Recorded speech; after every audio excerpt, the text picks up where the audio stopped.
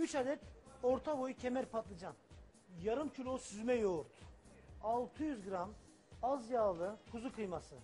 1 tatlı kaşığı pul biber. 1 tatlı kaşığı tuz.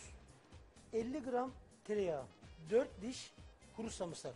Bugün alnazik kebap yapacağız. Kavurmalı, kavurmalı, iri kavurmalı kıymadan e, alnazik kebap yapacağız.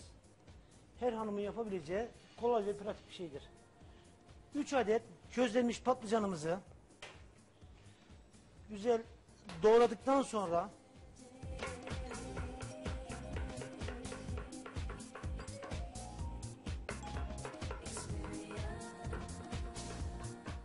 küçük bir kabın içerisine karışım yapabileceğimiz yeterince büyük bir kapta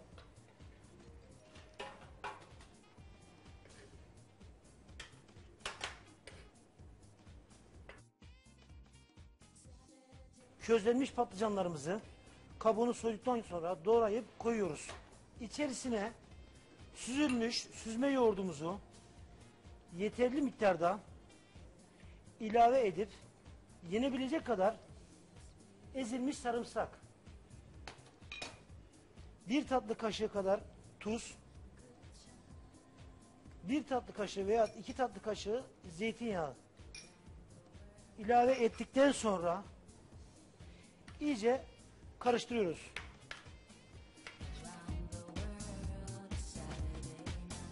Yoğurdumuzu ilave ettikten sonra alnazin içi hazır. Kavurmalı alnazi kıymasının içini yapıyoruz.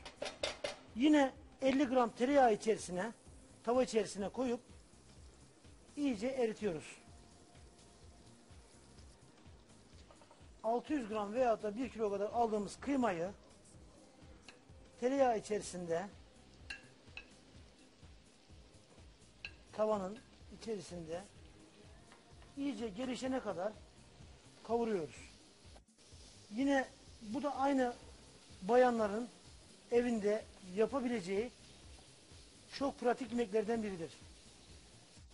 Hiçbir şekilde fazla zahmet istemeyen ciddi bir yemek lezzetidir.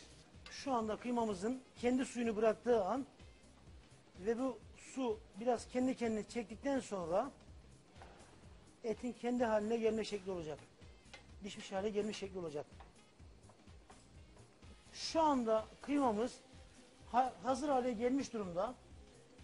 İçerisine yarım tatlı kaşığı tuz ilave edip yarım tatlı kaşığı pul biber ilave edip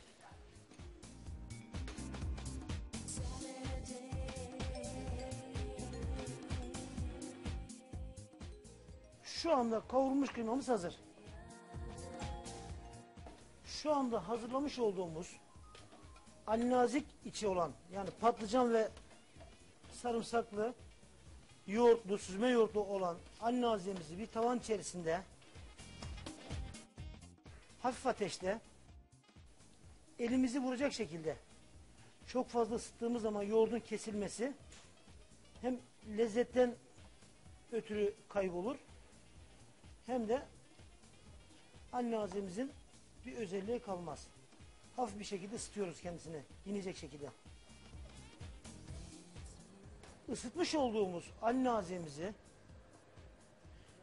küçük bir borcama veyahut da orta boy bir borcama koyup üzerine kavrulmuş hazır kıymamızı ilave ettikten sonra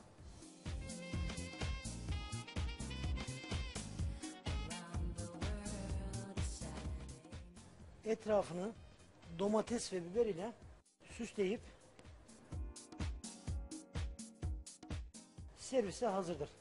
Afiyet olsun.